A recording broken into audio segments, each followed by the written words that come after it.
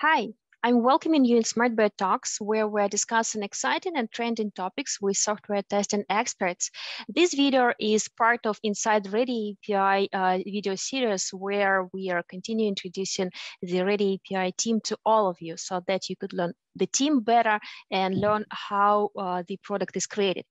And today we will talk about one of the most important parts of the product, it's uh, documentation.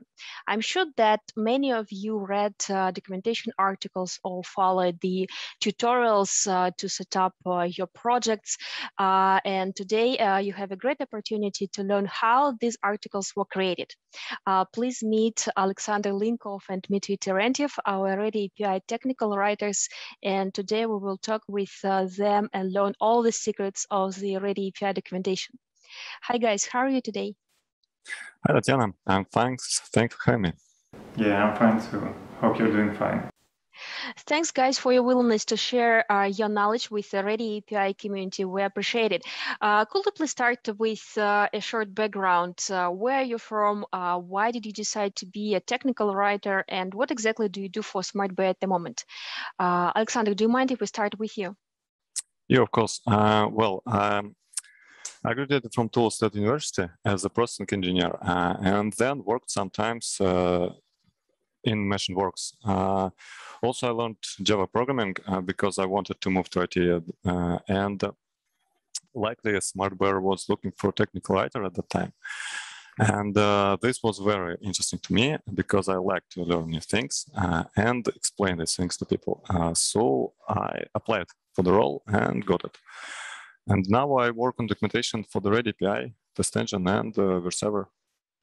Okay, great. Uh, that's uh, so interesting background. Uh, Dmitry, uh, how about you? Well, I come from Tula State University too, but I actually majored in linguistics. And later I used the online resources to study coding and then applied uh, for the technical writer position in SmartBear. And I've been working here for three years already. Okay, so so great. It's uh, it's so unique, um, or maybe not unique in our world at the moment. But uh, uh, you both uh, came to IT from the different areas, right? You educated yourself on your own, and you learned the stuff from scratch. Uh, what resources did you use, or do you continue educating yourself? As for me, I started with some books for beginners and taking courses uh, on platforms online like uh, Udemy, Pluralsight, Coursera, and so on. Uh, I still use them when I wanted to learn some subject to be deeper. beside them, I can say that I often use search in Google mm -hmm. because it's very helpful resource when you uh, find some difficulties, uh, face some difficulties, and try to find solution. And uh, also, uh, our developers are always glad to help me with some tricky question. Okay, great, uh, yeah. Dmitry. Yeah, and by the way, a great way of boosting your knowledge of Ready API is to take courses in our own service, the SmartBear Academy. Yeah, definitely. Thanks for mentioning the SmartBear Academy. Um, this is a great resource uh, where our customers can uh, learn uh, Ready API from scratch by using different type of the courses. It's a live class or on-demand class, and there are many courses for different skill levels. So yeah, great. Um, come to Academy and uh, enroll in the courses you like. Um, returning to the documentation part, uh, uh, I've got that being a technical writer is not easy. you need to learn a lot all the time, but I'm sure there should be something that you enjoy doing the most uh, during your day-to-day -day work. Uh, so what is it? What is the most rewarding part of your of your work? Getting salary, you know. I'm joking, yeah. To be serious, I like explaining difficult things to the people. And when I finished one more tutorial or instruction, I like to think uh, that it will help our customers to do their day-to-day -day job.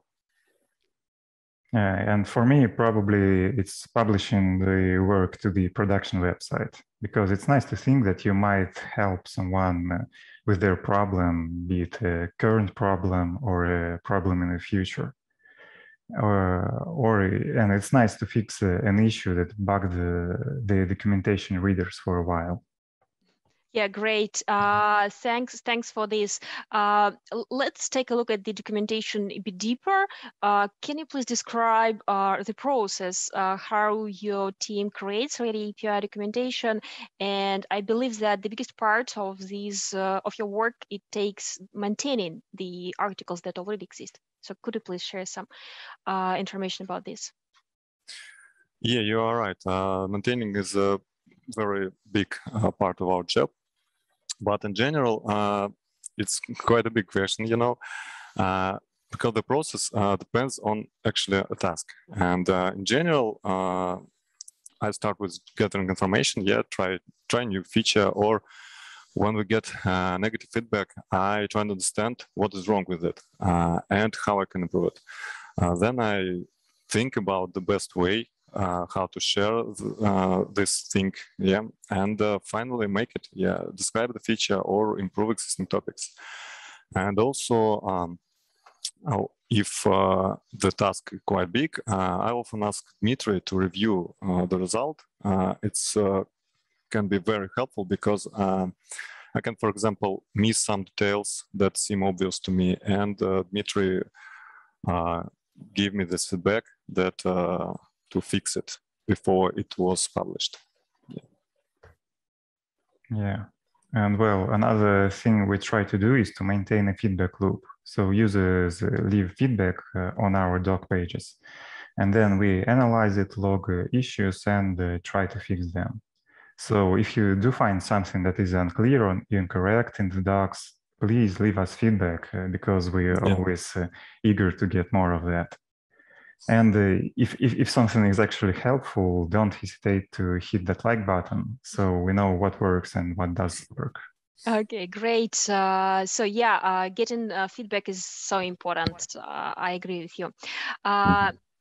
You mentioned that, uh, Dmitry, you mentioned that you're working in the company for three years. Uh, uh, Alexander, how many years have you been working in the company? well, for about eight years, I believe. Eight years. Okay, it's it's it's it's practically life. Uh, so, and I believe during this yeah. time, uh, you worked not only on the Ready API documentation, right? Uh, you created articles for different uh, SmartBear tools. Are there any specifics uh, to create uh, the articles for Ready API? Yes, you're right. Uh, before switching to Ready API, I worked on documentation for Test Complete, AQTime, and some other products. And you know, uh, the documentation process in, uh, in general is quite similar. You learn feature and describe it for users. Uh, but of course, there are specifics.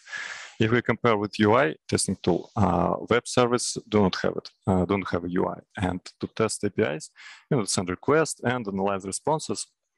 And uh, you should understand how different protocol works and API specification and so on. So there are a lot of specifics uh, comparing to other uh, testing tools. okay, great. It's interesting. Dmitry, what do you think about this? Uh, well, yeah, to add to that, uh, I'd say that keeping up with new technologies and protocols is a big thing because the world of uh, the API development is uh, ever changing and you have to know what's going on in the business, especially when Ready API starts supporting new technologies, like uh, with Kafka recently. Uh, okay, that's uh, that's interesting. And uh, do you think that uh, if you need to always keep in mind about all of these new technologies uh, in API world, uh, do you think that creating Ready API articles it's more difficult in comparison with articles, for example, I know for Test Complete? no, you know, test complete has its own specifics and uh, it's also quite difficult task to uh, maintain the, this documentation uh, describe new features uh, and uh, they have uh, their own specifics. And they are different but also very interesting. Okay i got it. That's an, an another yeah. story. Yes yes. Okay i i see. And um, could you please do you keep in mind any maybe uh, Ready API release um, that uh, you spend a lot of time, or maybe you created so many articles for that release? Uh, can you rec recollect uh, that that that version? Hmm, this it's an interesting question. You know, um, there are so many releases these days that uh, I can't remember a particular one. But uh, I remember the first release of Ready API Test Engine. Uh, it was a new product and we created documentation from scratch and it was very challenging. And as for Ready API releases, um, I would name Ready API 3.0, uh, mostly because it introduces extended support for GraphQL services. But also this version united all models into the navigator tree and uh, it became much easier to work with uh, the project. Uh, and yeah, yeah, very interesting release.